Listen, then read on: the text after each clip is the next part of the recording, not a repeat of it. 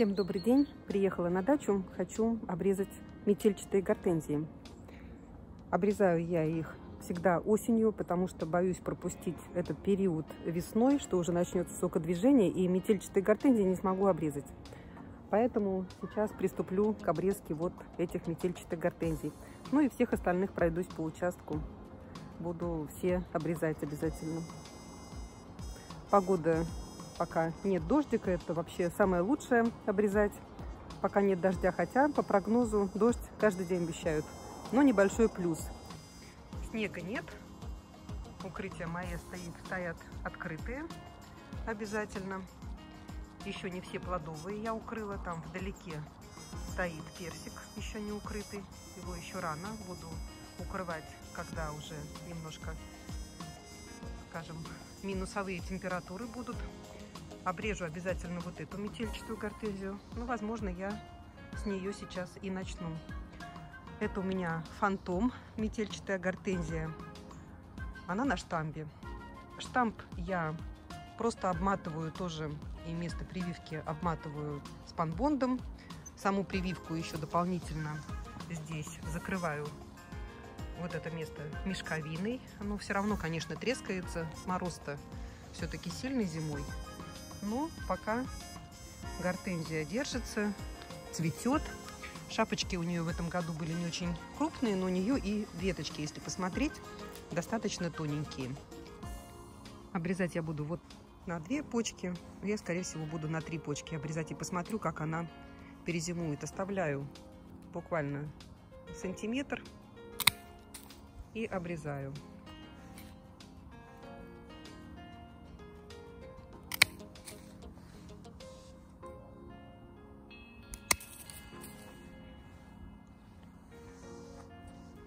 Тоненькие я обрезаю. Внутрь у меня, особенно здесь куста, не идут ветки, а если даже идут, я оставляю с той целью, чтобы у меня вот эта гортензия, она формировалась таким шариком. Одно время было очень много веток сюда наклонено, и поэтому я специально оставляла больше, даже если идет в центр куста, я оставляла эту ветку, вот видно, вот эту я оставляла, она сюда идет, в эту сторону, чтобы формировать шар. Вот такие тоненькие я обрезаю.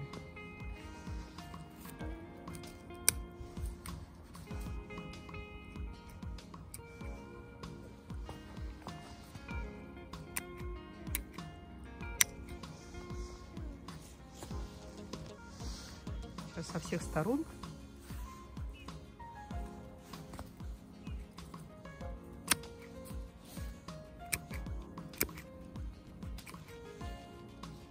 Листья уже облетели у гортензии. И на деревьях тоже уже листьев нет, уже деревья голые. На три почечки.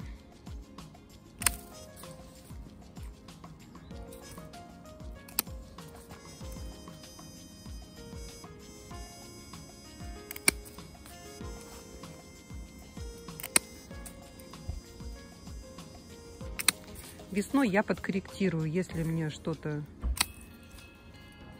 не нравится или что-то, скажем, замерзло.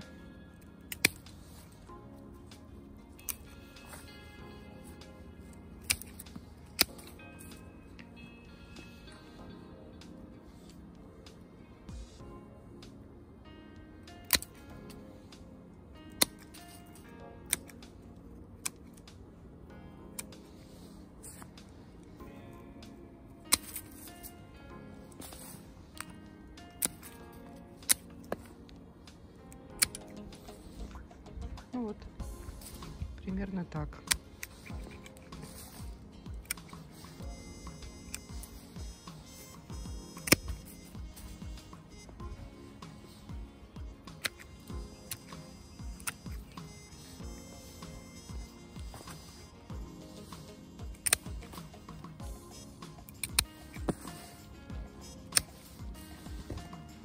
Вот такие тоненькие нет смысла оставлять. Шапочка совсем будет у нее маленькая, если будет. Лучше пускай растут новые побеги.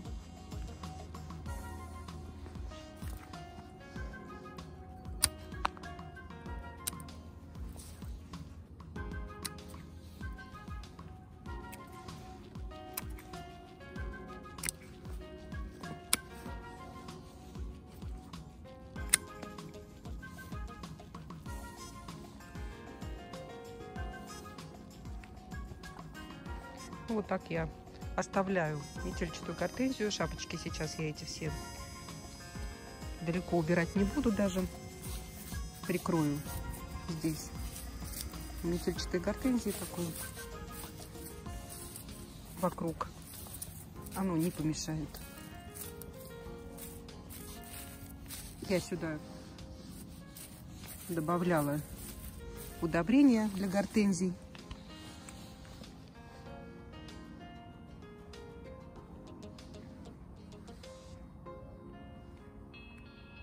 Вот я сейчас сформировала свою гортензию на следующий год. И продолжу с другими метельчатыми гортензиями. Подхожу я к своей метельчатой гортензии. Это у меня Limelight. Вот она растет кустом. Хорошо очень растет. Вот такие у нее стволы большие. Здесь был прирост большой. Ну вот много тоненьких. Поэтому их, конечно, я тоже сразу обрежу.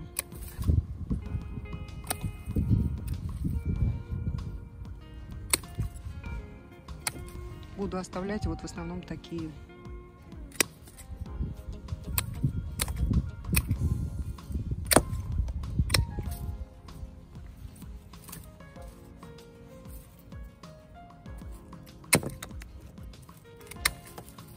укрывать ничем не нужно. Что пропустила?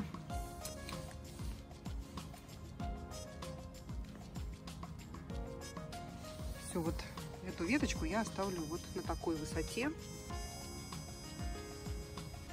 И приступлю сейчас вот к обрезке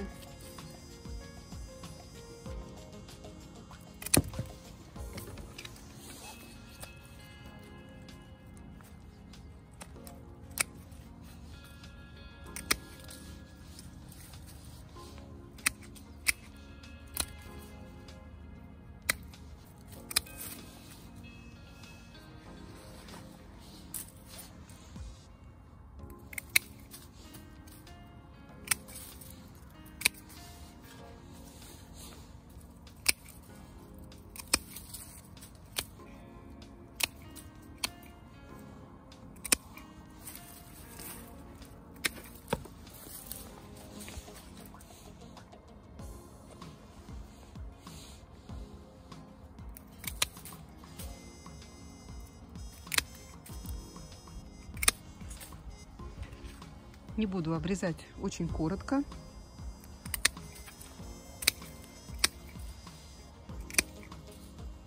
В основном на три почки я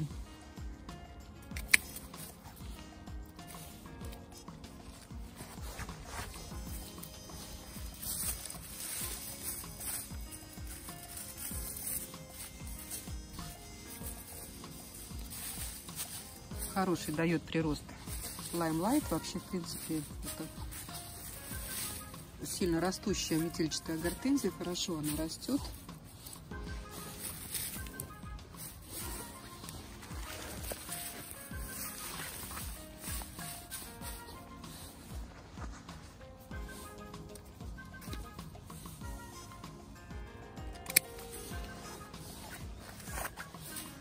Здесь, конечно, растрескался вот трещины и в сторону, но он мощный, мощная веточка, сильная, хорошая, много на ней цветов. Я пока ее оставляю.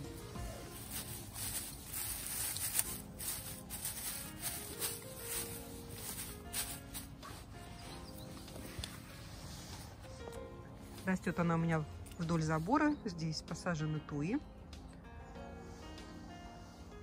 Вот таким образом я ее сейчас сформировала.